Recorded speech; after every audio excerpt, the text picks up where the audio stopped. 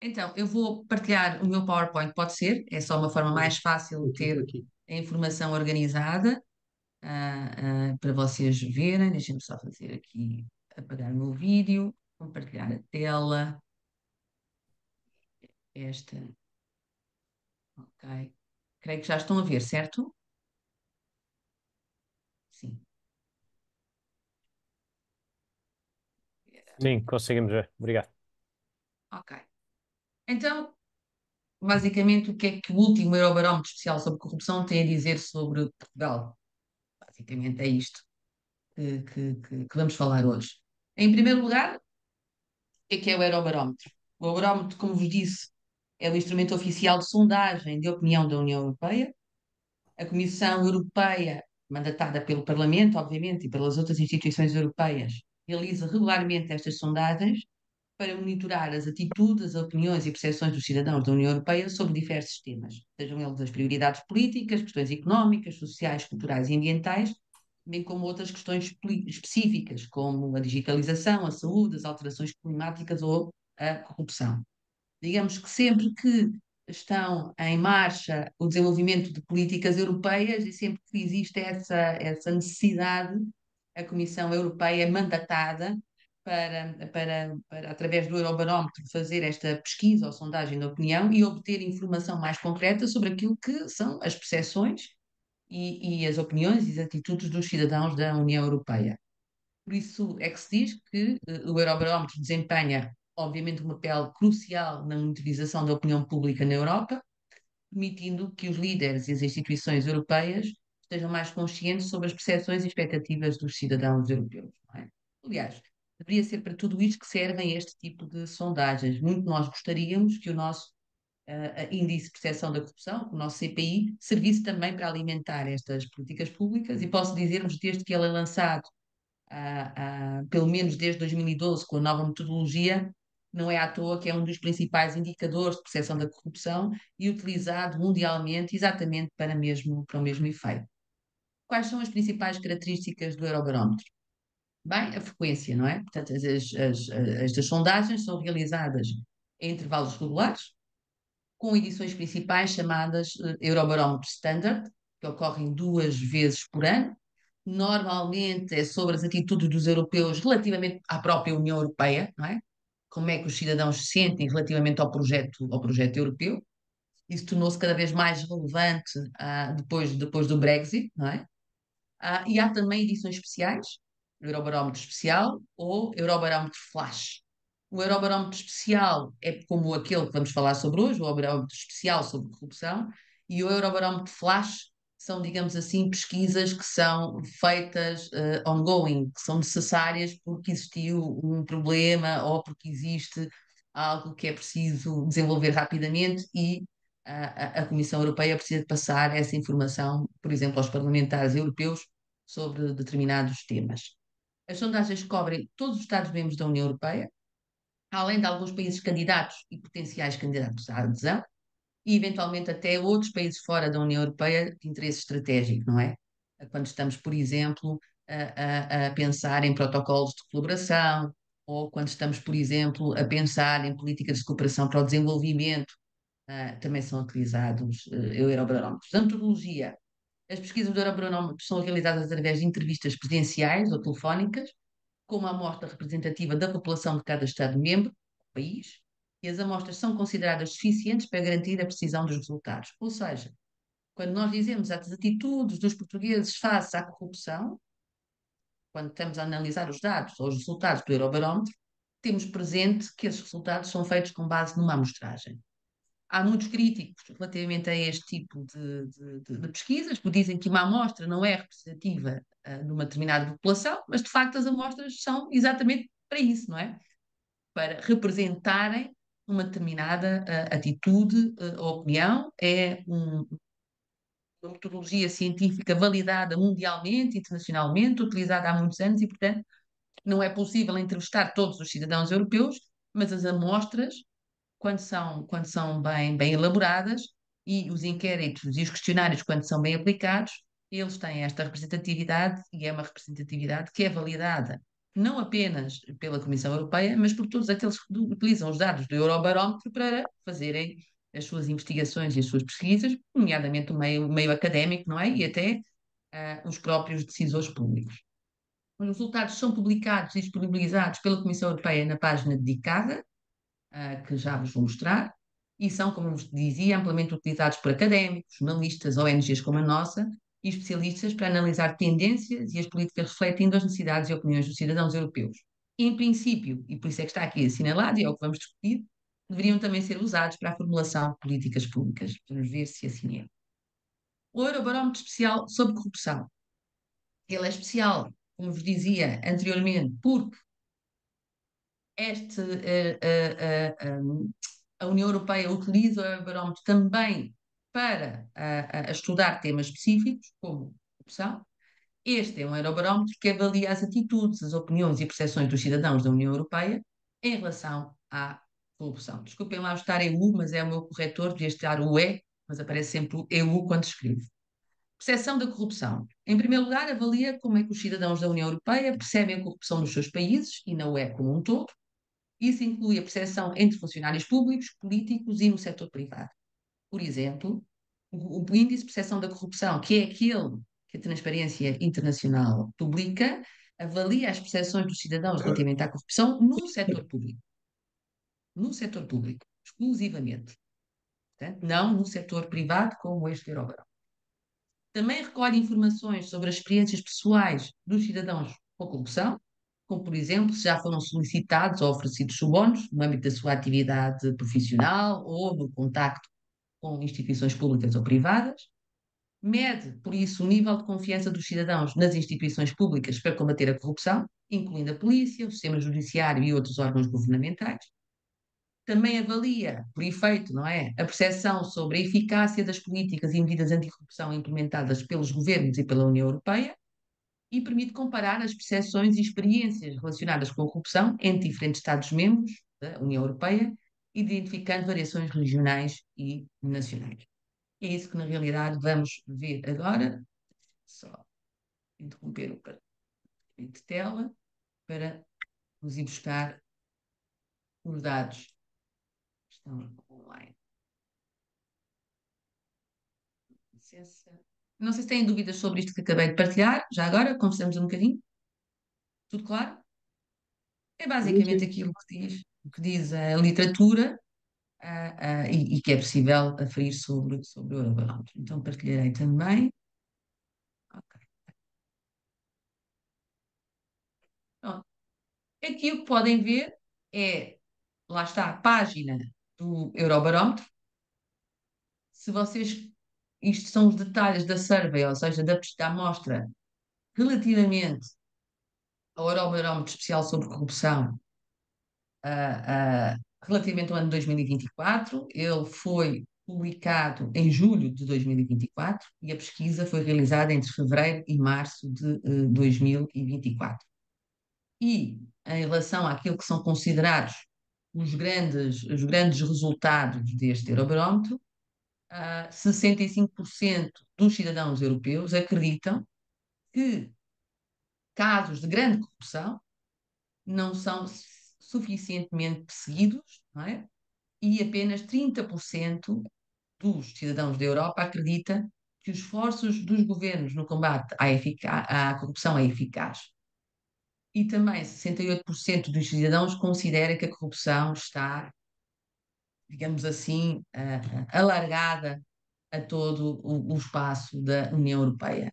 Isto são dados uh, uh, relevantíssimos, são dados que eu acho que devem nos fazer pensar no, na forma como a corrupção, e quando falamos em corrupção, é corrupção e infrações conexas, não é? Não é apenas a corrupção do ponto de vista legal, e como dizia o Nuno Cunha Rolo, o um, fenómeno da corrupção, é? o fenómeno corruptivo, ah, é encarado pelos cidadãos da União Europeia. E por isso é que não é por acaso que, antes destas últimas eleições, foi aprovado um novo pacote anticorrupção da União Europeia, Uh, uh, exatamente porque uh, os, os eurodeputados e, e, os membros da Comissão e os diferentes comissários tinham esta percepção de que uh, nós, enquanto cidadãos europeus, olhamos para a corrupção como um dos principais problemas do projeto, do projeto europeu.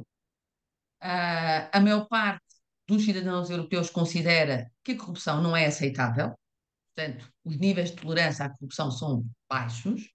Por exemplo, se formos a outras regiões do mundo, em África, por exemplo, ou na América Latina, vocês vão perceber que Uh, por exemplo, os dados uh, que, são, que são realizados por outros indicadores indicam que há outros níveis de tolerância à corrupção. Há, infelizmente, países no mundo em que as pessoas consideram que a corrupção é um mal necessário, que já faz parte, digamos assim, da sua vida de, todo, de todos os dias, da sua experiência cotidiana. Nós, na Europa, não temos essa percepção e, portanto, isso é um indicador positivo. E, e, e os, quando, quando estamos a falar em termos de, de, de intolerância, uh, 77% consideram que é intolerante dar dinheiro, 68% consideram que é intolerante dar um, um, um presente, não é? E 65% consideram que também é intolerante uh, fazer, fazer um favor. Portanto, do ponto de vista da intolerância à corrupção, a Europa está bem. O problema é que 65% acredita que, como disse anteriormente, casos de grande corrupção ou envolvendo altos funcionários eh, com, com, altos cargos públicos ou uh, políticos uh, não são devidamente uh, investigados e perseguidos e punidos, e, e 57% acredita que, na prática, a, a, a, luta anticorrupção na Europa não é, não é, não é eficaz, portanto, não está, não está a, a produzir uh, aquilo que, que, seria desejável. Um, passando diretamente para os dados de Portugal, que acho que são uh, igualmente interessantes.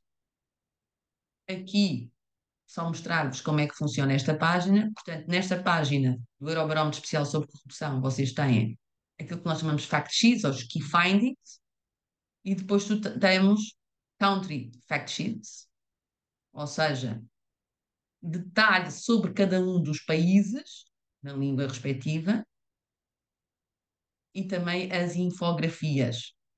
E esta aqui é a infografia, é a infografia sobre, todo, todo, sobre a Europa, no global, e não sobre os países. Por isso é que eu consigo ver ainda. Estas estão a ver? Sim, sim. Estão a ver já Obrigado. de Portugal? Já de Portugal? Sim. Ok, pronto. Então, em Portugal, só para vos dar uma ideia, na UE27 foram realizadas 26.411 entrevistas e em Portugal 1.032 entrevistas. Em Portugal, entre o dia 7 de fevereiro e 3 de março de 2024. Ah, deixando este gráfico, que são basicamente aqueles que consubstanciam o que já disse sobre a União Europeia, há aqui coisas que eu acho que são muito interessantes. Eu vou tentar abrir um bocadinho mais para vocês conseguirem ver, assim vê-se melhor, não é? Em Portugal, pensa que subornar ou ser subornado e o abuso de poder em benefício pessoal é prática comum nas seguintes instituições: partidos políticos. 69% dos inquiridos em Portugal diz que sim, que é possível uh, uh, uh, fazê-lo ou, ou que isto acontece nos partidos políticos. Reparem, estamos quase em 70%, a média europeia está abaixo. Políticos a nível nacional, regional ou local, também 70%. Funcionários que adjudicam concursos públicos, estamos em 55%. Esta é uma das áreas que muitas vezes nós falamos aqui na TI Portugal, que é a área da contratação pública.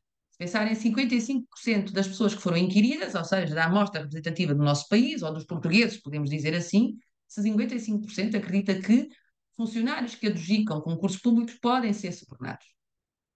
53% acredita que funcionários que emitem licenças de construção ou outras podem ser subornados. Que também há subornos nas empresas privadas, 47%. Ah, o sistema de saúde, 36%. Menos aqui, mas, por exemplo, bancos e instituições financeiras. Estamos também nos 55%. Mas o valor mais expressivo está nos partidos políticos e nos políticos a nível nacional, regional ou local. Por isso é que nós dizemos muitas vezes que a integridade na política deveria ser prioridade nacional. É exatamente porque a maioria dos cidadãos em Portugal tem a percepção de que os partidos políticos e de que os agentes políticos são, na sua essência, corruptos, não é? E por isso é que nós também vemos, vemos o aumento uh, uh, do crescimento dos, dos populismos, não é?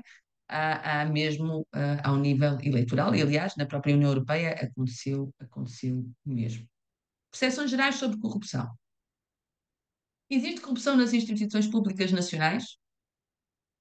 91% dos portugueses diz que sim, que existe corrupção nas instituições públicas nacionais.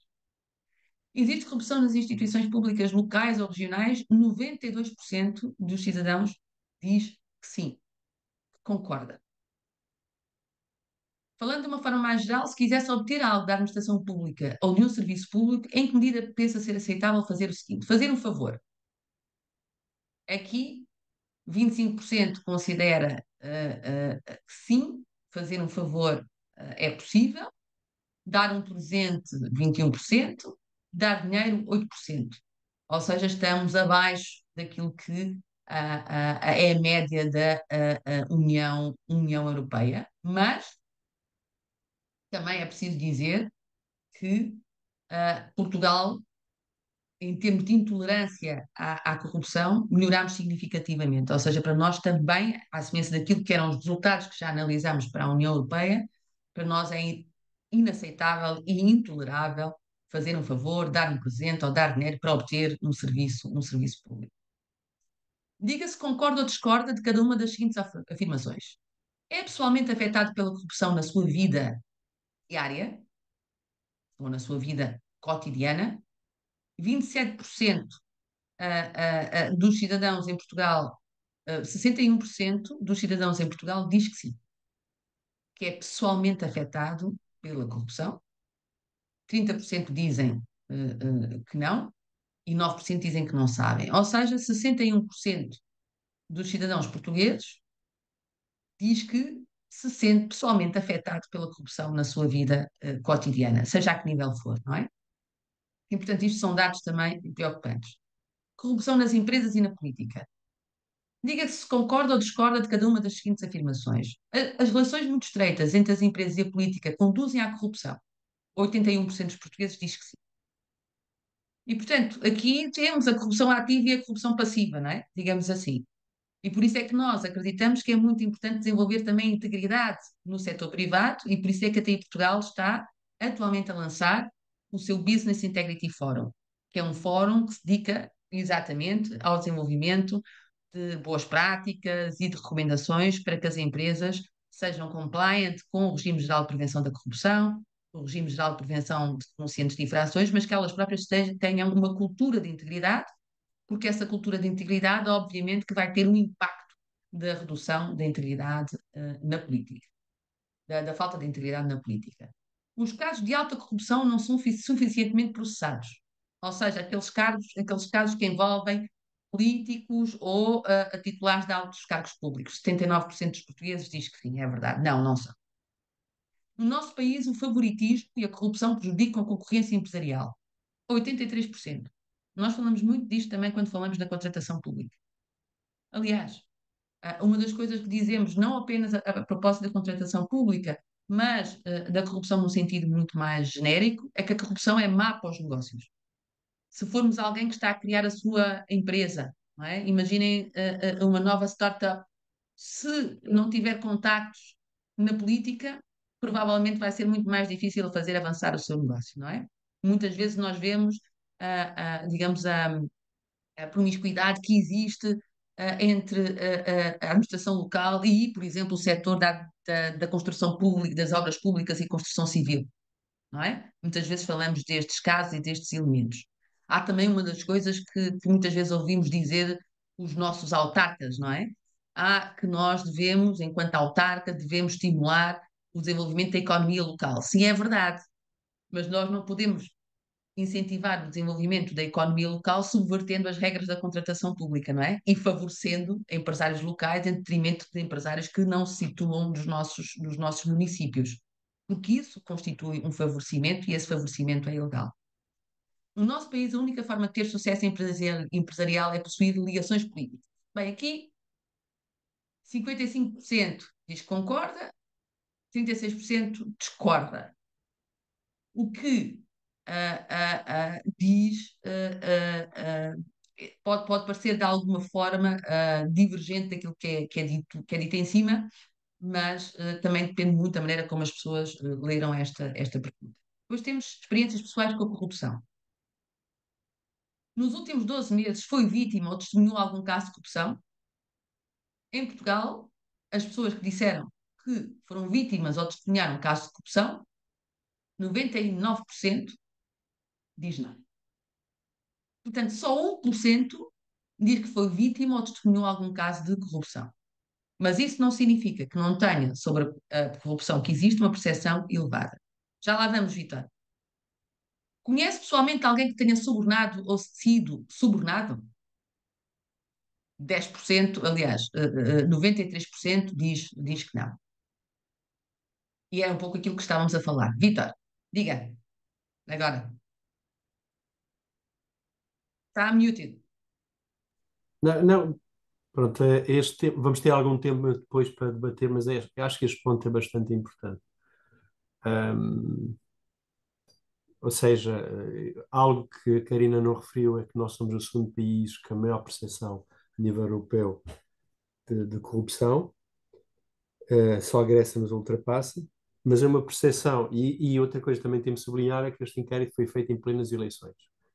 Uhum. E estas eleições foram realizadas depois de uns casos de corrupção, alegados, prováveis uhum. ou não. Uh, e toda a campanha foi focada sobre esta é situação. E é preciso, é isso que é preciso. Eu pessoalmente sei que há algumas dificuldades, eu não ando a, querer fazer obras, nem nada disso, sei que há dificuldades muitas das vezes a poder obter licenciamento e afins, mas eu não conheço também nenhum caso de corrupção, pessoalmente. Agora, cunhas toda a gente conhece, uh, e afins. Ou seja, o que eu acho estranho, é isso que eu queria sublinhar, é que uh, há uma grande, grande diferença entre a percepção e o que nós conhecemos, o que nós vemos.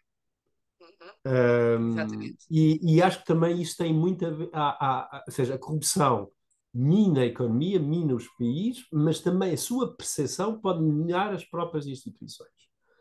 E, e acho que um, acho que isso é bastante, acho que devia ser sublinhado isto, e é interessante ver, por exemplo, que um país como a Itália uh, tem uma percepção de corrupção muito inferior à nossa.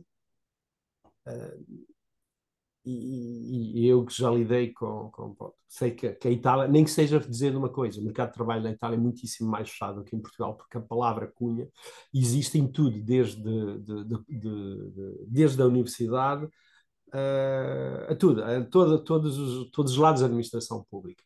E, no entanto, eles têm uma menos percepção, menor percepção de corrupção do que existe em Portugal. Portanto, só queria dar este, este, este, fazer este comentário. Se calhar vai em contrasentido do, do, do, da mensagem que queiram transmitir, mas acho que também tem que se trabalhar sobre isso para não deixar exatamente, por isso é que também pertence a esta associação, pela importância que dou ao tema e não deixar que ele seja tratado de uma forma leve e, sobretudo, seja cada vez mais utilizado como, como argumentos por partidos populistas, exatamente para poderem minar as instituições e, a partir daí, sim, criar um verdadeiro regime uh, corrupto onde não há qualquer. Uh, Uh, instituições que controlem, que, que acompanhem, que avaliem as medidas, que escrutinem as medidas que sejam tomadas. Pronto, é só. Queria apenas dizer isto, porque a, a mim uh, choca-me pessoalmente o confronto entre este, este ponto aqui, em que estamos melhor do que o resto da União Europeia, se calhar também porque estamos com os olhos fechados, porque lá está, se calhar, a palavra cunha na Finlândia não será tão bem encarada como em Portugal claramente, pode ser também cultural, mas a, a pergunta, uh, quando estamos a falar de corrupção, estamos a falar também, não só de, estamos a falar, está um exemplo atrás, ou seja, entrega monetária, uh, favores, pronto, isso, os favores existem muito em Portugal, pode ser apenas uma questão cultural na definição da cunha, mas uma coisa é certa, da corrupção. Há uma enorme, um enorme desfazamento entre o que está neste quadro, experiências pessoais com a corrupção, e outro, e uma figura que aparece logo de início no relatório, que não, não, não tem aqui, não mostrou aqui, que é uma, uma figura onde compara todos os países sobre a percepção de corrupção, em que Portugal tem 96%, é esta aqui. Portugal tem 96%, a Grécia tem 98%, e temos os países nórdicos, uh, uh, aliás, poucos países nórdicos, abaixo dos 50% a poucos países, assim a Finlândia, Dinamarca e o Luxemburgo. grosso modo. E esta, esta discrepância total é, é algo que me que diz também muito não só sobre o problema das instituições, mas também sobre outro problema que é tão problema das instituições, desculpa, da corrupção, mas outro, outro problema que é muito grande também sobre o nosso que existe no nosso país é sobre o, a percepção do próprio funcionamento uh, das instituições, a percepção sublinho uh, pelos cidadãos e com isso a partir daqui também muitas outras coisas uh, não é só isso também não não facilita e não favorece o populismo, como também favorece um, um, pior comportamento dos cidadãos, porque eh, a percepção é ah, se eu faço mal, mas eu sei que toda a gente faz pior. Um, quando será bem assim. É, pronto, isto a mim choca-me profundamente estarmos, porque isto é que aparece no relatório, este é que aparece no relatório, estamos numa situação uh, e li de uma forma em diagonal, parece, 90, ah, o problema em Portugal é 96% existe corrupção, uh, é algo que foi vivido por 96% dos cidadãos, uh, mas quando vamos a ver uh, depois, estamos até abaixo da média europeia no, no, no na, na, na, no, no, no, testemunho diário desta, da, da, corrupção. É só, é só dizer isso. E mim, eu, eu, eu concordo com toca-me esta discrepância. Há um problema, eu... há claramente um problema. Eu concordo consigo, Vitor, e por isso é que estamos a organizar este GADI, na verdade. Ah, o objetivo aqui não era olhar para os dados, era olhar para os dados com esta perspectiva crítica, ainda bem que, que, que introduziu isso, porque eu ia falar sobre isso a seguir também, mas também percebermos porque é que estas atitudes existem. E já agora, voltando aqui um bocadinho atrás a este gráfico, por exemplo, olhando para a Hungria, é? os húngaros têm uma percepção de corrupção inferior Exatamente. à nossa, não é? Ou os romenos. Sim, Nós sabemos que são países que têm problemas de corrupção e a Polónia também tem muito inferior gravíssimos, não é? Ou a Polónia, não é? E portanto, eu A Polónia tem que... metade de nós, Karina. A Polónia Sim. está com uma percepção de 52%. A questão aqui, para mim, para mim, para mim, é mais isto. Que é não aqui,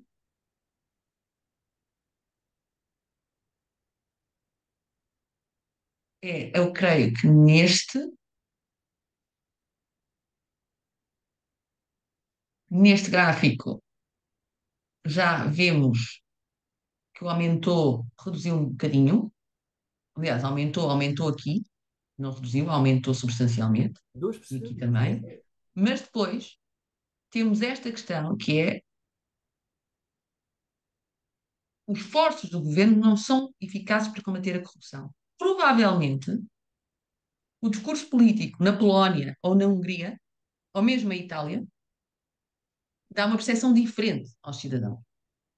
Não sei, não sei se é isso, não é faltam é estudos. Uma questão, é uma questão de discurso político, mas também é uma questão de política pública, é, política eficácia pública, das instituições, eficácia das instituições e tudo isso, exatamente. É, mas também tem muito a ver com é, é, infelizmente eu digo isto, é, é um tema que dá votos a quem não está interessado na democracia.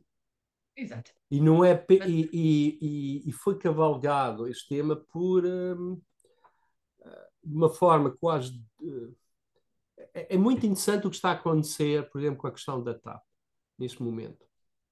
Uh, está-se a dar muito menos importância uh, e, uh, e certos jornais só pegaram no caso hoje, do que outros temas, lá está, em fevereiro, janeiro e, e todo o período anterior, também tinha a sua gravidade, porque não haveria agenda, porque neste momento não há agenda que interesse. Ou seja, eu, eu, eu este relatório diz-me uma coisa: a nossa democracia está extremamente doente. A corrupção é um problema em Portugal, Eu acho que é um problema que torna o país muito mais ineficiente, faz com que muita gente imigre, porque não há, não acredite no mérito, no, sobretudo no, que o esforço, que o seu esforço tenha um resultado. Mas é, é interessante ver que só se fala da administração pública, porque no privado isto existe.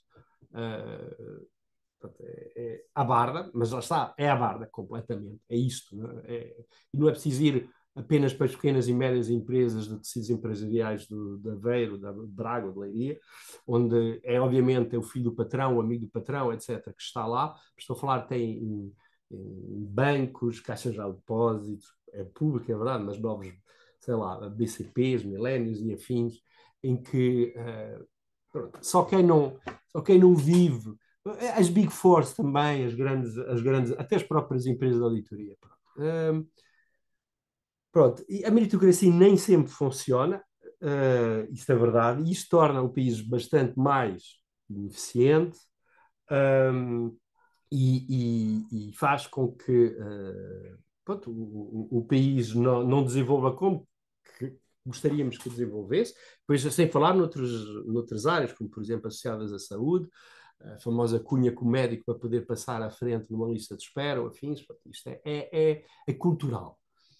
Uh, mas dito isto, a percepção que a sociedade tem, a importância que tem, uh, e, que para mim é muito importante, mas a forma que é quase obsessiva face ao, ao que vive no seu dia a dia, e muito puxado por, e tem vindo a aumentar, a questão é, é e, quem, quem, quem analisa o, o, o, fenómeno da corrupção nos últimos, a vida a aumentar esta percepção, mas quem analisa o fenómeno da corrupção nos últimos 40, 50 anos e sabe que há 30, 40 anos não havia qualquer investigação sobre nada, não havia meios, ou seja, é um problema que era muito mais endémico em Portugal do que é atualmente, mostra que o grande problema, nesta análise, mostra que a nossa democracia está extremamente doente. Está doente.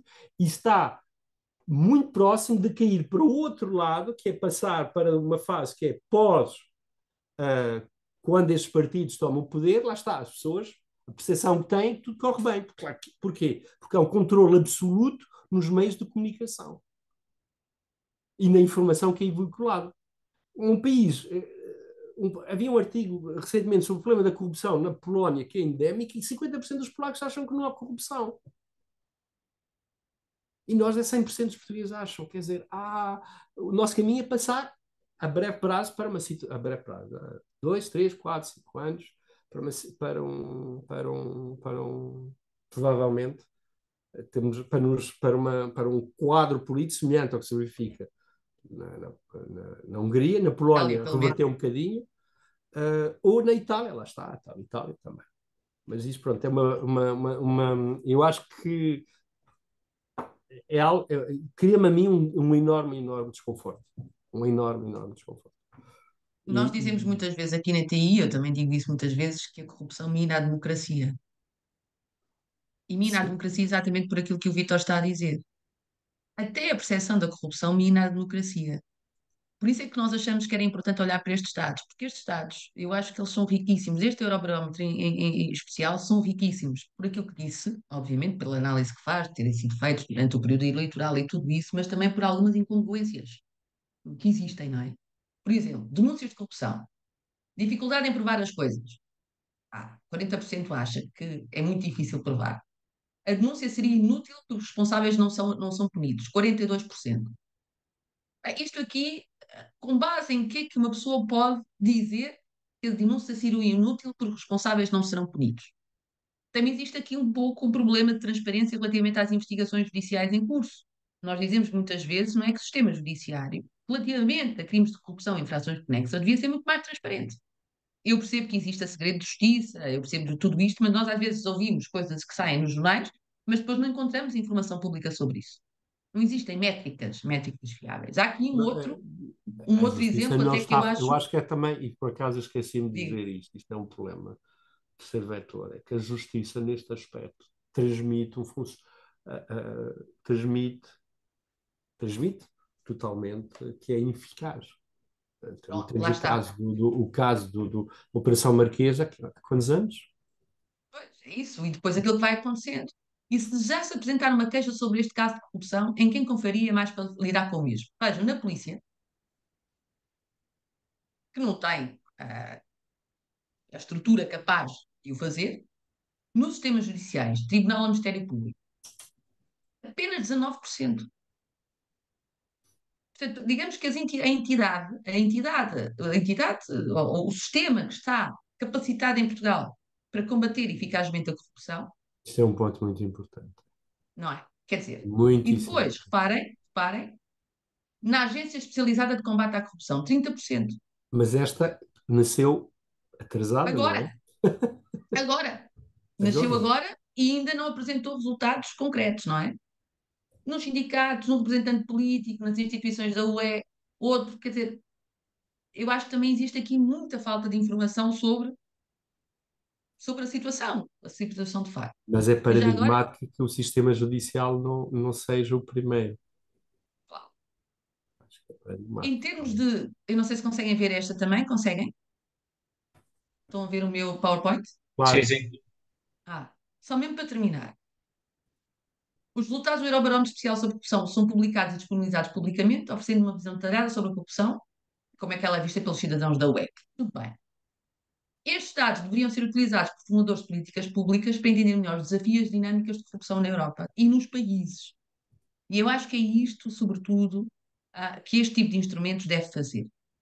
Contrariamente àquilo que se diz a miúde, que é, a, a, que é o soundbite eh, da comunicação social, não é? X portugueses consideram que a, que, que a, corrupção aumentou, nós próprios aqui na TI Portugal também utilizamos isso para a nossa advocacia, mas é sobretudo como sinal de alerta. Exatamente por aquilo que o Vítor estava a falar e que vamos discutir seguidamente, é o que é que estes resultados, resultados significam e, e qual é o impacto destes resultados para o nosso país. E finalmente, temos aqui duas análises. A primeira que diz os portugueses acreditam em massa que o problema da corrupção é comum e se encontra na nossa ah, mas só 1% dos portugueses experienciaram e testemunharam a tão presente corrupção. Temos, de um lado, os tratores, aqueles que dizem, pá, está bem, mas isto são percepções. E depois temos o António João Maia, que é membro do OBJEF, mas também é consultor uh, do, do, do MENAC, do Mecanismo Nacional Anticorrupção. Ele diz-nos que o nosso problema de corrupção é maior do que o dos europeus, mas depois ele explica é uma construção que cada um vai fazendo a partir de diversas fontes de informação a que acede. E um dos elementos mais importantes é a comunicação social. A comunicação social é a janela que nos traz o mundo e que nele acontece. O que vimos, ouvimos e lemos através das televisões, dos jornais, reforçados pelos comentadores e conversas de rua, contribuem para a configuração do modo como cada um avalia e percepciona o problema, como tive a estudar já há alguns anos em corrupção, realidade percepções, o papel da imprensa. Mas, eu, eu... mas, mas, na verdade, aquilo que é importante perceber-se e, e, o artigo do João Maia, do António João Maia é interessante também sobre isso, é que tem um pouco a ver com aquilo que o Vítor já dizia e que nós também temos vindo a falar, que é, é um problema muito mais de política pública, da eficácia das instituições que têm como objetivo combater e prevenir a corrupção em Portugal, da fiscalização, é? Das práticas corruptivas, da punição e não apenas de, de, de, do facto de ser um tema uh, que é um tema-chave na, na, comunicação social. Eu creio, mas essa é só a minha opinião, e com isto uh, termino o compartilhamento de tela e volto à nossa conversa. Eu creio que esta ideia de que se diz que a comunicação social é uh, responsável pelo elevado nível de percepção de corrupção dos portugueses, eu não, não estou inteiramente de acordo. Eu acho que é evidente quando as pessoas são bombardeadas não... todos os dias com casos de corrupção, ficam mais é atentas é ao fenómeno. Claro. Mas a questão é que a questão é que uh, isto está intimamente ligado, que uma coisa que nós muitas vezes recebemos até na nossa provedoria até em Portugal, que são uh, uh, denúncias de pessoas que acham que existe uma justiça para, para os pobres e outra justiça para os ricos ou para os corruptos. Pessoas que se sentem injustiçadas injustiçadas porque não conseguem aceder a serviços públicos, injustiçadas porque não conseguem fazer pela vida, porque não conseguem melhorar os seus recursos e acham que isso é, obviamente, devido, uh, devido à corrupção. Mas isso não tem apenas que ver com a corrupção, tem a ver, obviamente, com o sistema, o sistema de organização do Estado de uma forma global e generalizada, não é? Aquilo que, que, que, eh, nós ouvimos nos últimos dias, o que aconteceu com a TAP, mas também seria interessante, por exemplo, ver o que aconteceu relativamente à, à, à, nova agência da imigração, por exemplo, não é? Não consegue dar vazão, que, que, que, tem que contratar um escritório de advogados por 200 mil euros, porque está cheia de processos, porque não consegue, não consegue, não consegue despachar, despachar os pedidos. Temos que olhar também para a forma como nós tratamos as inspeções gerais, por exemplo, não é? olhamos para este, para este resultado do, do, do, do, inquérito TAP e validamos aquilo que está dito pela Inspeção-Geral, mas quando foi no caso da Alexandra Leitão, colocámos dúvidas. É? No caso da Alexandra Leitão e da, da, da, da Presidente da, da ex-CEO da TAP, colocámos dúvidas sobre a eficiência dessa agência, não é? E, portanto, há aqui, há aqui muitos problemas de, de, de organização do Estado, de reforço das instituições, que precisam ser solucionados e resolvidos, porque só assim é que estas percepções de corrupção serão, serão mitigadas e reduzidas, e só assim é que nós vamos garantir que não nos vamos tornar, como o Vítor dizia muito bem, pá, numa próxima Itália, numa próxima Polónia, uh, uh, uh, ver o que aconteceu em França, não é? Uh, ou, ou, ou, em Espanha, que estão aqui muito, muito mais perto. Eu também concordo absolutamente que é um problema mais da, da qualidade da nossa democracia do que um problema especificamente sobre, sobre corrupção e outros demónios, mas os dados sobre a corrupção permitem-nos, nós, enquanto estamos numa organização sem fins lucrativos que tem como objetivo combater e mitigar é, os riscos de corrupção e, e, e, as práticas corruptivas, nós fazemos, e por isso é que somos uma instituição cívica, porque achamos que isso é essencial para o reforço da democracia e a melhoria do bem comum. Uh, e às vezes não se faz esta associação. É? Às vezes parece que andamos aqui a perseguir-nos uns aos outros é? e que somos todos uns perigosos populistas, mas não somos. As pessoas que neste país defendem o combate à corrupção não são todas iguais. Há, há, claro, infelizmente, claro. há, há, quem utilize, utilize a bandeira do combate à corrupção uh, para seu próprio benefício. Uh, uh, e basta ver até o que aconteceu noutros países, enfim, alguns de fraca memória uh, uh, não se lembra do que aconteceu na Venezuela, não é? Com, com, com o chavismo e a bandeira anticorrupção também era uma delas, e, e, agora temos um presidente não eleito a dizer que o Natal vai ser em outubro, não é? E é este, é este é, é, isto é muito importante, ou seja, corrupção é, o combate à corrupção é essencial para o bom funcionamento da, da, da democracia sendo que o bom funcionamento da democracia tem que ser, um, tem que ser o objetivo último per si. Uh, e porque senão caímos depois uh, no bypass da democracia para entrar no mundo que é tudo menos uh, transparente e, e íntegro fazendo uma alusão ao, ao, nome da nossa associação. Só queria dar, eh, só, só, só um apoio, eu acho que falei bastante e vou deixar o restante as pessoas contribuírem e, e eu próprio também vou ter que, que me ausentar em breve. Eu queria dizer que há um ponto importante para mim que é a questão da, da, da, da justiça, como ela funciona, ou seja, eh, falou do segredo de justiça. Eu acho que o segredo de justiça devia ser um, levado a sério.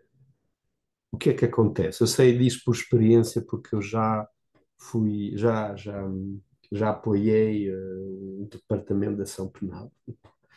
E uma coisa que me, como perito, que me, chocou foi claramente do outro lado tinha gente que queria, sabendo a pouca força que tinham enquanto instituição face aos tubarões que estavam do outro lado, assumiam que uh, iam utilizar, fazer bypass com a, a, comunicação social de uma forma de indiretamente pressionar e ter pelo menos a opinião pública do, do lado deles. Ou seja, isto é uma visão, uma postura de tal modo terceiro-mundista, tal modo pequena, que acaba porque o que é que acontece? E vemos com, com, com operações Marquês e afins. Com estas fugas cria-se um, um, sentimento de, de, de, perante a opinião pública de vontade de ação que, como os processos demoram muito tempo, geram logo frustração passado pouco tempo. E por outro lado, com estas fugas também, é, é, é também uma forma do, daquelas pessoas reterem, além de seres até quando há falhas, porque por vezes nem sempre, lá está. Eu sou contra a pena de morte, um dos motivos é porque por vezes a justiça erra, não é? É chato errar e matar alguém, erradamente. Um, e a questão é para além do lado pessoal, também acaba por tornar tudo isto um pântano, em que todos os bitaites, em lugar de tornar-se qualquer coisa de sério e, e, cartesiano, não, é emotivo. E tudo isto, a justiça, torna-se emotiva.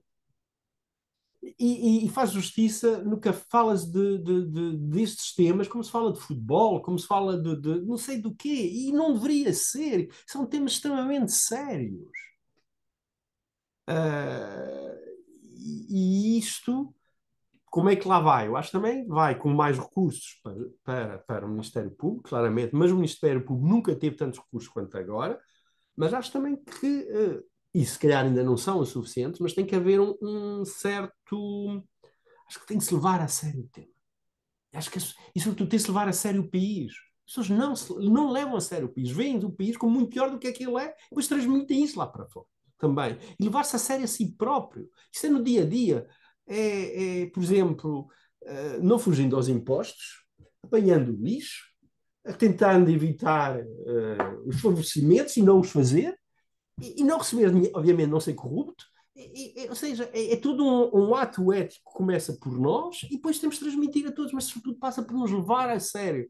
E, e volto a dizer, esta a, a, experiência que eu tive foi uma experiência bastante negativa em que eu vi que o receio que tinham aqueles profissionais perante os tubarões e, tudo se resolvia depois de uma forma, olha, com o almoço, com fulano e crânio, trabalha na, em tal jornal e não sei o quê, não sei o que mais. É uma forma de os controlar. Pronto. E, isto eu vi. Pronto, e já vão... imenso, Vitor, mas sim, isso acontece muito. Há, há um livro muito interessante do João Bidual, João Bidual Esteves, sim, Bidawi Ribeiro. É, João Bidawi sobre Ribeiro, Ribeiro, Bidawi, sim. Com, Ribeiro Bidawi, com, sobre o compadrio em Portugal, ah, ah, ah, e, e, e eu aconselho vivamente a quem, a quem puder ler esse ensaio a lê-lo, porque fala muito sobre, sobre, sobre, sobre estas questões culturais também. Né? nós, somos, nós somos um país em que esta, a, a cultura, eu não diria, não gosto de falar disto assim de forma genérica, mas a cultura do nepotismo está mais ou menos uh, evidente. Arranja-me aí o trabalho para a minha filha quando ela sair da faculdade, ou seja, não tem que existir corrupção, um benefício, um benefício inequívoco monetário, não é? Mas, mas esta troca de favores é, é constante, é sistemática. Somos também um país muito pequeno, onde, onde, as pessoas acabam por habitar os mesmos, os mesmos sítios, as pessoas que estudaram na mesma faculdade acabam por se casar umas com as outras e depois pertencem aos mesmos ministérios. Nós, eu ainda sou do tempo, também já não sou jovem, ainda sou do tempo em que se entrava em alguns ministérios deste país uh, e, e, havia muitos familiares diretos a trabalharem no mesmo ministério. Era quase como se fosse uma herança de pais para filhos. Uh, uh, e, e ou, ou, na Câmara Municipal, quantas pessoas da mesma família trabalhavam na Câmara Municipal, fazia parte quase já da, da, da, história, da história de vida daquela família, não é?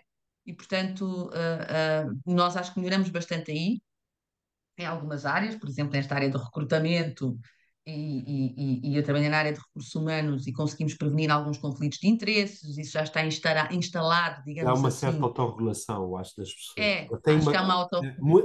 A maior parte, as pessoas cada vez mais têm vergonha barra escrúpulos. Exato. Acho Agora, eu. Em situações, na, em situações... Estou há 30 anos a trabalhar e vi um, uma mudança. Uhum. Mas continua a haver graves problemas. Vi uma mudança nos últimos 30 anos. Mas já não damos dinheiro à polícia quando, quando nos passam uma multa, quer dizer, isso já, já é completamente inaceitável, claro. não é? Um, eu vivi isso portanto... há pouco tempo num país como no Sri Lanka, em que o meu guia tive que, para não pagar a multa, deu metade da multa à polícia. Claro, sim, eu vivi em Angola é... e também andava com dinheiro na carteira, porque isso fazia parte, digamos assim, do funcionamento. Nós não estamos nesse nível, mas eu acho que estes dados do Eurobarómetro, pelo menos, ah, com, Nós não somos porque somos portugueses. Eu conheço com situações de brasileiros que têm que dar a polícias, uh, que têm pequenas lojas que tiveram que dar. Uh, nós podemos nos queixar, os portugueses, uh, porque somos portugueses. os imigrantes, por exemplo, não é assim tão fácil. Posso lhe garantir. Para os imigrantes, a, a, situação é muito complicada e é muito difícil e deveria ser muito mais bem estudada, porque há muitos casos de, de, de exploração a, a, a todos os níveis e, e de corrupção, que não é falado exatamente porque estas pessoas estão em situação de vulnerabilidade e, portanto, nunca, nunca vão dizer uh, o que se passa com elas, não é? Sob pena de serem deportadas e de saírem, etc, etc. João, se passar assim, queria dizer qualquer coisa. Sim, uh, boa tarde. Eu realmente, uh, o exemplo que tenho é, é o meu exemplo mais a nível autárquico, não é? Eu sou, sou de Oeiras, tenho um autarca há quase 42 anos, que, que foi eleito, já foi preso e já portanto, está no poder outra vez e está a fazer campanha ainda. Uh, tem uma maioria absoluta, portanto acho que isto é ilustrativo daquilo que se passa numa das maiores câmaras de, de, de Portugal e mais desenvolvida. Pronto, isso é, é uma questão. Estranho. E outra ah, questão. A forma, mas agora, João, já agora deixa-me dizer, se se recorda, quando houve aquele escândalo das despesas de representação e dos almoços e a forma como, como Isaltino Moraes uh, uh, se apresentou uh, na Assembleia Municipal e fez aquele discurso a falar de tudo o que se comia em Oeiras e de todos os restaurantes em Oeiras, não é? Continua a, a fazer. Foi, mas a maneira como isso foi recebido, foi recebido pela população de Oeiras e pelo público em geral, foi metade, metade. Quase positiva. Foi Ou seja, por um lado, houve, houve o elemento caricatural, houve o elemento caricatural inicial, ah, ah, hum, houve, houve, houve da parte da oposição e de pessoas como nós, ah, epá, coisas, isto, não, isto é impossível, não, não pode, não pode ser, mas na verdade houve romarias para ir comer ao sítio X ou Y que o Isaltino tinha dito, e houve muita gente em Oeiras que achou que ele estava a fazer o seu papel de bom autaca, porque estava justamente a dinamizar a economia local de Oeiras. E assim é como se nós tivéssemos dois pesos e duas medidas. Portanto, aquilo que o Vitor dizia sobre a, nossa, nossa, a qualidade da nossa democracia também tem muito que ver, tem muito que ver com a formação, a educação, porque é muito bom estes dados dizerem que nós somos intolerantes à corrupção, mas é importante perceber se nós conseguimos ou não identificá-la como ser corrupção e infração conexa, não é? Eu estava a dizer, que já estávamos um bocadinho longe dos países em vias de desenvolvimento, mas nem tanto, porque falando de brasileiros, tinham um, um, um abrigo brasileiro, quando estávamos a falar do, do, do Isaltino, ele faz-me pensar um deputado que no Brasil foi eleito, não, eles não chamam de deputado, um, num, pronto, senador. Um, não, sei, não sei se era senador, mas pronto, um político foi eleito e o seu lema era rouba, mas faz. E foi eleito. Como o Robin Hood. E na prática o, o Isaltino não diz roubo, mas faz, mas pode, é, piso, piso ali, é, não roubo, é, mas faço. E, e, são pessoas licenciadas. Uh, não, não é o, não são o Eiras, não sei se tem o, o PIB per capita, mais, o poder de compra mais elevado, o dinheiro mais elevado per capita do país, mas deve estar a caminho disso. Já, este, já teve, não é? Sim, Sim. todo esse barómetro que, que a Karina explicou aplica-se a Eiras questão da, dos concursos públicos, da construção, da, das percepções de tudo, num conselho perfeitamente evoluído, não é? E a nível de gestão autárquica é, é o que é. Há um conceito que eu gostava pronto, só de deixar, que existe, que é a corrupção e fraude. Existe essa grande diferença, por vezes as pessoas não sabem interpretar o que é corrupção e o que é a fraude. E elas interligam-se, mas não são, pronto, não, por vezes não se complementam, não é? Então, essa percepção por vezes é muito complexa, como se costuma dizer, não é? quer a nível jurídico, quer a nível de, pronto, a nível social. Portanto, uh, acho pronto, este, este barómetro foi bastante explicativo daquilo que se passa. E eu tenho exemplos práticos em Oeiras. Por exemplo, em, em julho foi a apresentação das contas das, das empresas municipais. Todas elas negativas. Todas elas negativas. E só numa, de, uh, só numa delas é que fizeram uma auditoria. E essa auditoria foi questionada. Então, quando essa auditoria foi questionada, é que o, o auditor contratado pela Câmara não tinha entregue, portanto, a documentação a tempo e horas. Não é? E então, quando isso aconteceu, mas porquê que a Câmara contratou essa, esta empresa? Sabia que nesta altura era tinha que apresentar o, as contas da empresa que também eram negativas para ver uma justificação. Olha, ele estava de férias e então uh, não, não deu para, para entregar essa informação aos partidos, né, representativos, para fazerem as perguntas. E pronto, isto é tudo assim. E como na, no, no CIMAS também mudaram, pronto, a direção é, é, repartida, não é? De dois em dois anos. Uh, foi também, mudaram agora para, para a Câmara Municipal de Oeiras. Como o saldo era negativo, uh, portanto também não, pronto, não houve encontros de contas. A melhor forma que fizeram para encontrarem as contas foi aumentar a água, por exemplo, em 14%. Para, para um saldo. Portanto, uh, não havendo uma, uma grande como existe em, em Lisboa e em Oeiras, em Cascais, que é um departamento já de, de- de- não é de compliance, mas é de, de funcionamento, transparência e integridade, que, que- que faça ali uma, como é que é dizer, uma, uma filtragem nos contratos, como é que os departamentos funcionam, isso tudo. Acho que cada um tem a sua autonomia e, e lá está, esse compadrio, não é? Eh, eh, é- vem- eh, o exemplo vem sempre de cima. Portanto, eh, é muito complicado.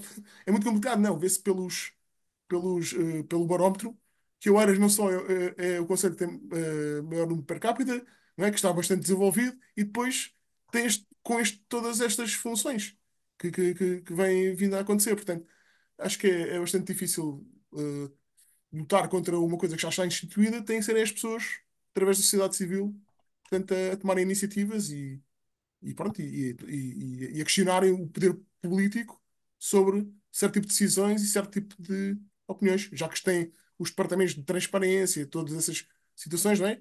Como, como existem nas obras, não é? Eh, se tiver um buraco na minha rua, envio para, para, para a junta que isso é logo resolvido. E, e respondem na hora. Portanto, haver assim esse, um bocado mais de, de, de- de participação. Acho que só assim é que vamos lá, porque pronto, acho difícil. Mas obrigado pela apresentação e é um tema bastante importante. Vou acompanhá-lo com bastante atenção. Obrigado. Obrigada, João. Manuel, Bo- Boa noite a todos eh, e obrigado por esta, por esta participação. Foi muito boa, perdeu sempre pouca gente. Ah, ah, a Karina foi fantástica. Ah, mas aquele mapa que aparece, aparece ali da Europa é indicativo de uma questão cultural. É que os nórdicos têm uma mentalidade analítica e os mediterrâneos têm uma mentalidade sintética. Portanto, nós sabemos tudo e mais alguma coisa, e eles têm que pensar antes de abrir a boca.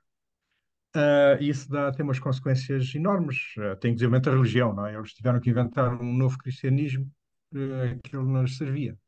E, sei lá, há 100 anos havia 2 ou 3% de analfabetos na, na Inglaterra, e aqui ah, ainda hoje são 12%, não é? E estamos todos eh, contentes com isso, não é? Eu lembro que na Suécia foi um escândalo em 75, porque encontraram um indivíduo que não sabia ler e escrever naquelas vias. Eh, lá foram com um helicóptero, com um professor, para. Enfim, portanto, eles eh, preocupam-se com, não só com ele, mas principalmente com, com a sociedade onde estão inseridas. É um, é um facto. Eh, ora, eu, por exemplo, eh, vou- eh, gostava de. Mas antes de, de apresentar aqui um- um- uma reflexão sobre esta questão, eu, por exemplo, eu fui funcionário público da Direção-Geral da Agricultura e entrei por, porque tem um nome muito vulgar, Manuel Costa. Portanto, eles confundiram com outro, que depois o outro. Eh, o mesmo se passou no meu doutoramento. Também ficaram admiradíssimos que o Manuel Costa não era o que eles pensavam que era. É, é ridículo este ponto, não é? Eh, eh, bom, mas então eu durante vários anos fiz eh, aquilo que se chama as vistorias para, para construção, por causa da reserva agrícola. Aliás, a reserva agrícola do Algarve é que eu fiz, exatamente para lixar esta situação, mas obviamente que não consegui, Eh, porque eles contornaram a situação que, que eu posso explicar em particular noutra, noutra sessão. Então, Uh, por exemplo, uh, um vereador que não conseguiu os objetivos que queria acusou-me de ter desviado 300 pontos na, na Câmara. Simples como isto. Durante sete anos eu fui o gajo que roubou 200 ou 300 euros, já me recordo, na Câmara. Ainda por cima estava a fazer trabalho voluntário. Repara nisto. Uh, portanto, uh, aqui em Portugal não existe corrupção, como diz o nosso amigo Vítor Marques, mas Não, existe corrupção, Ah. existe corrupção. Peço desculpa, eu não disse isto. Eu acredito, existe corrupção, muita corrupção. Não, não existe, não. E quem puser em causa, e quem puser em causa, lixa-se. A Diga? questão é essa. E quem puser em causa que existe corrupção, lixa-se. Portanto, não é, não é feijões. Sim. Eh, posso dar vários exemplos que se passaram. Agora, eh, relativamente à corrupção passiva e ativa. a meu ver, a corrupção é principalmente a passiva. Eu tive, a mim, nunca ninguém me corrompeu, apesar de haver algumas tentativas, porque para mim não passava de uma piada, não é? Ah, portanto, e ficava por aí. Ah, ah, portanto, a, a corrupção é, é passiva e é preciso o pessoal fazer-se à jogada. Essa é a minha, essa é a minha experiência de vida.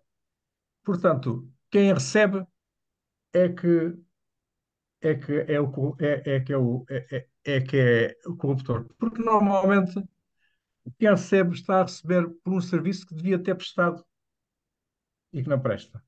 Portanto, ele ele levanta problemas para, para vender soluções. Ah, e, e parece-me que ah, só atacando ah, a corrupção passiva sem ser, sem, sem tocar na ativa, é que se consegue apanhar, porque assim protege-se um ao outro, não é? Ah, e não conseguimos apanhar nada, e então lá estamos na situação de que não existe corrupção e quem puser em causa lixa-se, não é? Ah, eu ponho esta, esta, esta reflexão ah, aos, aos vocês, meu, caros colegas, caros amigos. Muito Obrigada, obrigado. Manuel. Eu tenho uma coisa que, que gostava de dizer, mas isso é porque eu sou uma otimista. Se não fosse uma Sim, otimista, nós não trabalhava na TI Portugal e acho que somos todos de alguma forma otimistas, senão não pertencíamos a esta, a esta associação, não é? A, a erradicar a corrupção no mundo, uma tarefa ah, ah, hercúlea, não é? Ah, difícil e nas suas múltiplas formas é- ainda mais. Agora, a mobilização cívica contra a corrupção, eu acho que ela é essencial e necessária e indispensável. claro. E, e- estarmos aqui ah, ah, às 19h30 ah, numa quarta-feira a discutir o Eurobarómetro Especial sobre Corrupção, mesmo não sendo muitas pessoas, não interessa, somos aqueles que somos, isso diz bem da nossa mobilização e do nosso interesse. Eu acho que uma das coisas que nós nos esquecemos às vezes é que o setor privado também é sociedade civil. Isso é a primeira coisa. Nós falamos muitas vezes da sociedade civil como se fossem só organizações sem fins lucrativos, mas as organizações com fins lucrativos também são sociedade civil. E há muitas empresas que são altamente prejudicadas pela corrupção e pelo nepotismo e pelo favorecimento e tudo isso. E é preciso também regimentar essas pessoas, ou esses donos dessas empresas, para a nossa luta. Manuel diz, é verdade, é para alguém que, que, que, denuncia a corrupção ou que, ou que se imponha contra, contra a corrupção, lixa-se, passa a expressão. Sim, pode até ser verdade, mas isso só é verdade se não existir fiscalização consequente, se não existirem instituições que passem a punir eficazmente a corrupção. A partir do momento em que conseguirmos, e não estou a falar da grande corrupção, eu, já, eu sei que nós, nós concentramos muitos esforços muitas vezes na análise, e, e na televisão vê-se muito isso, os grandes escândalos, o que aconteceu na TAP, o que aconteceu na Operação Marquês, o que aconteceu aqui e ali, são de facto os grandes casos de corrupção, mas eu gostava que se olhasse, por exemplo, mais para a contratação pública. Se olharmos sistematicamente para aquilo que são os relatórios do Tribunal de Contas sobre a contratação pública, epá, é vergonhoso. Estão cheios de irregularidades são detectadas inúmeras, inúmeras irregularidades na, na, na atribuição de contratos públicos, inúmeras irregularidades na execução dos contratos. Há contratos que foram adjudicados por um valor e que passaram a ser pelo valor X ou Y e, e, e muito mal amanhado, a- amanhada a justificação para esse aumento, certo? Ah, ah, eu já descobri, e sei que isto pode parecer estranho, mas eu já descobri ah, um presidente de junta que externalizou a sua presidência a uma consultora de amigos foram ex-deputados da nação, em que o contrato dizia especificamente assessorar o presidente da junta de freguesia no exercício das suas funções, que é assim uma coisa um pouco absurda. Ah, e estamos a falar de quase 100 mil euros por, por cada ano de mandato. Isto passou, sem que ninguém se tivesse, tivesse, tivesse feito o screening, sem que ninguém se tivesse, se tivesse insurgido. E, portanto, eu acho que a, partir do momento em que nós conseguimos trazer para a nossa causa, não apenas indivíduos, mas também empresas que são usadas pela corrupção, eu acho que isso teria algum impacto significativo. Digo isto porquê? Porque há muitas empresas e muitos empresários, nós somos um país em que 95% do nosso tecido empresarial é micro, muito pequeno, é verdade, nós não temos assim tantas grandes empresas, e sobretudo empresas familiares que dependem dos seus negócios para sobreviver, para pagar as contas da, da casa, para pagar os estudos aos miúdos é? e aos filhos e para pô-los na universidade a estudar. E, portanto, estas pessoas são também pessoas que estão altamente interessadas em combater a corrupção. O problema é que não veem a ligação entre uma coisa e outra. É como se tivéssemos, assim, uma espécie de separação mental. Há a corrupção que estamos aqui todos a falar e os dados quando estamos na TI Portugal e quando vemos a televisão e dizemos que horror, são todos os corruptos, são todos os malditos, mas depois na nossa vida cotidiana, é pá, se pudermos fingir, fugir ao imposto, fugimos. Se pudermos uh, uh, pôr uma cunha, pomos uma cunha se precisarmos, precisarmos falar com alguém uh, ao pagar um jantar para conseguir o contrato A ou B, até fazemos isso, porque até achamos que o contrato é de 5 mil, é pá, os outros ganham tanto, os outros são os baratos desta vida, eu não sou ninguém. Estão a ver? E portanto, eu acho que isto tem que começar mesmo muito pequeno. Nós, nós, nós começamos a trabalhar a educação na integridade, estamos a ver se, se conseguimos desenvolver esse trabalho com as escolas de forma mais ativa mas eu acho também muito importante trabalhar com as empresas e com as, e com as, com as instituições. Agora, é importante também distinguirmos aquilo que é o nosso trabalho enquanto transparência e integridade da associação cívica. Nós somos uma associação cívica, nós não nos podemos substituir ao Estado.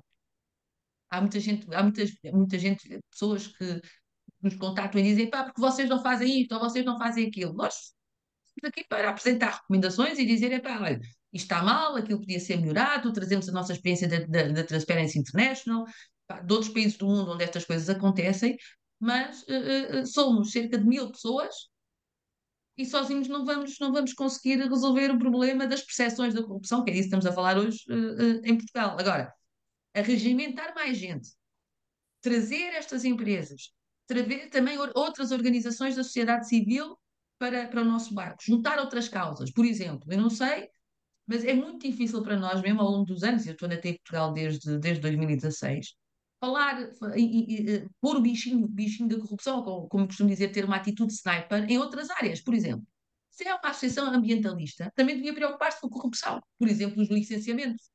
Não é? Se é a, a, uma associação não, desportiva. Não podem trabalhar em, em rede. Peço desculpa interromper. Podemos tentar trabalhar em rede, mas o problema é que uh, há também pouca informação sobre o que é a corrupção, as infrações conexas. Quando nós olhamos para a televisão, é a parte dos, dos comentadores que vão à televisão, fora epá, a, a nossa gente, como eu lhe costumo chamar, fala da corrupção de uma perspectiva muito legalista. Só utilizando uh, a lei para definir o que é corrupção, não falando da corrupção no seu sentido mais amplo, como fenómeno. E as pessoas ficam sem compreender exatamente o que é, que é corrupção e como é que ela se traduz. Acham que a corrupção é só isto, são os grandes escândalos, está a ver? Trabalhando com, com, com sei lá, tentar. Eu acho que este ponto é muito interessante. A questão de trabalhar com outra. educar outras associações que estão a trabalhar noutras áreas. Uma zero, uma. Eu, eu pertencia, como é que antigamente. não era. era... A Quercus. Não, é, é outra, muito associada até ao planeamento. Tive durante uns dias, olha, estou a ficar bem, já nem me lembro o nome dela. Geota. Hã? O Geota. Geota? Sim, pertencia ao Geota durante, durante muitos anos. E, por exemplo, o Geota, a grande preocupação tinha muito a ver com o planeamento. O Geota era muito focado no planeamento na altura. Sim, o uh, Eu acho que isso transmitir conhecimento e, e também receber deles, uh, acho, que, é, acho que podia ser uma forma de Mas, dar frutos e, e, espalhar a a palavra. A palavra, exatamente. Eu, por exemplo, tenho, tenho um exemplo de, de, de, três instituições que pelo menos há 10 anos que, não, que deviam trabalhar em rede, que não trabalham, que é CMVM, Banco de Portugal e a Associação de Seguros Portugueses. São três instituições com responsabilidade máxima, com características específicas e que não trabalham em rede porque não querem, simplesmente não querem. É muito complexo. Três supervisores. Ah, o problema de Portugal. Eh, eu trabalho numa entidade reguladora, entre departamentos eh, as pessoas não se entendem, quanto mais entre entidades eh, diferentes. Quer dizer, não, mas, o português, o individualismo é, é terrível. É mas, mas se, se, me permitem, agradeço à Karina, porque eu fui mal interpretado. Eu não, Eu não, não sou, ah, não sou laxista relativamente a isto. Já fui gente mal e ganhei Sei, eu a, sei que não, Câmara, se Eu sei que CDF, não. o que, não sei o que mais. Ah, e, e, e dá um gozo. Aliás, não, não, não, não vejo outra, não vejo outra atitude possível. Mas ah, ah, nós acho que devemos também ser mais objetivos, Ah, como os nórdicos são. Eu tive aqui um meu cunhado que é holandês e que, e que se interessa por essa coisa. Ele saiu daqui todo. Mas então o que é, que- o que é que, o, o, o que é que vão fazer a seguir? Por exemplo, falámos aqui agora na, na Associação Zero. Eu não tenho nada a ver com, com toda a simpatia para estes senhores. Mas eles, e muito bem, denunciaram que as praias eh, estavam a, a ser contaminadas pela, por esgotos e, e depois, passado poucas semanas, depois tivemos mais de 40 praias fechadas. Mas eu propus a eles, então, para, para resolver o problema dos esgotos, podemos utilizar a reutilização. Se nós utilizarmos, de- desviarmos a água, o, o efluente para a rega, ah, portanto, estamos a eliminar automaticamente essa fonte de poluição e até criar alguma riqueza. Acham que vocês, acham vocês que, que houve alguma reação? Não, as pessoas ficam só por, por, por, por por queixar, por se vitimizar. E isso é, é se calhar, eh, resolver problemas aqui não dá. Não dá. O que dá é, é denunciá-los. E assim a gente não vai lá nenhum.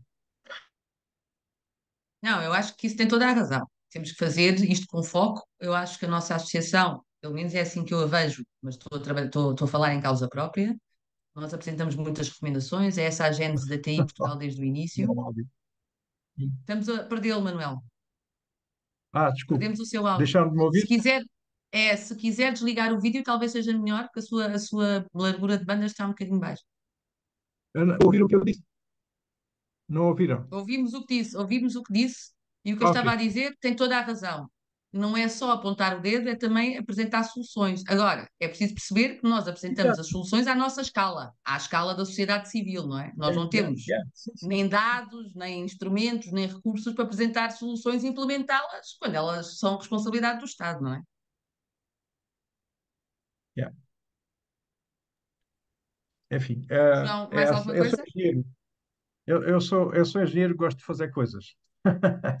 É, eu, eu, e, eh, yeah, Então, muito olha, obrigado. deixem-me dizer-vos, foi um prazer. Ah, Estamos no nosso, no nosso tempo. Não sei se mais alguém quer dizer alguma coisa. Se não, ah, informar-vos que a tertúlia que teremos no dia, creio que é o dia 25. Deixa-me só ver aqui no meu calendário. Sim, no dia 25 de setembro vamos ter ah, uma tertúlia ah, ah, sobre ah, este tema também, mas já falar mais sobre a estratégia anticorrupção do governo e aquilo que foram as nossas recomendações também, aquilo que, que nós apresentamos. Vai ser uma tertúlia aberta, como, como, como sempre. Ah, e, e lembrarmos que no dia 17 de setembro celebramos o nosso 14º aniversário ah, e que para esse dia estamos também a preparar ah, ah, uma celebração que será eventualmente um evento online aberto ah, nas redes sociais para quem quiser nos conhecer também nos poder conhecer e ver e que isso vos chegará tudo também por, por e-mail, tá bom? Muito. Muito obrigada, Obrigado, não se esqueçam, Muito obrigado pela sessão. É, agradeço que possam difundir dentro das vossas possibilidades o Business Integrity Forum e também dar-vos nota de que na última Assembleia Geral foi decidida ah, ah, que é possível a vinculação de entidades coletivas, ah, instituições públicas, no caso, câmaras municipais e eh, outras entidades públicas que podem ser sócios da TI Portugal e, portanto, se conhecerem alguma instituição que queira fazer parte, pode fazer parte. Nós temos também em curso um plano de prestação de serviços de formação, exclusivamente formação para entidades públicas sobre o RGPC e o RGPDI. Portanto, entidades públicas que tenham interesse no âmbito da implementação destes novos regimes, em receber formação e treino sobre boas práticas na implementação destes regimes, nós também fazemos essa prestação de serviços e isso faz parte da estratégia da gareação de fundos da, da associação. Tá bom? Muito obrigada e até à próxima. Muito obrigado. Boa tarde. Obrigado a todos. Ia só, Karina, ia só dizer hum, também a questão da, da campanha de negareação de fundos para o Observatório. Não sei se já tiveram a oportunidade de ver. Uh, mas se, se não conhecerem, está no nosso site, logo na entrada, uh, para a criação do Observatório um, do nome completo. Acompanhamento das promessas eleitorais. Exatamente, exatamente. Bata a corrupção. Muito obrigado pela vossa atenção. Uma boa tarde, fim de semana. Obrigado.